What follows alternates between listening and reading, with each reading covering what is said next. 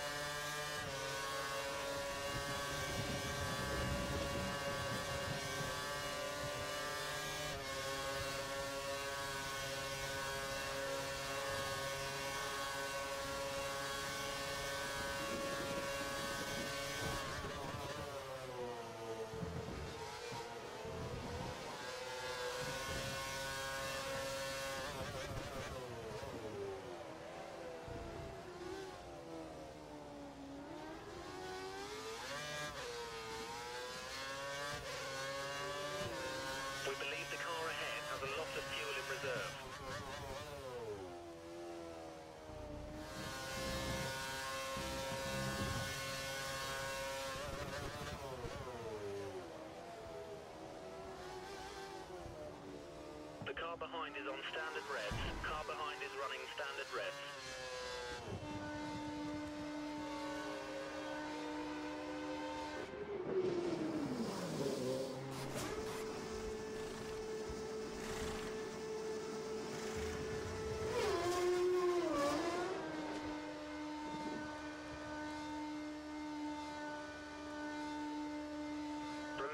stay inside the white line or we'll get a penalty.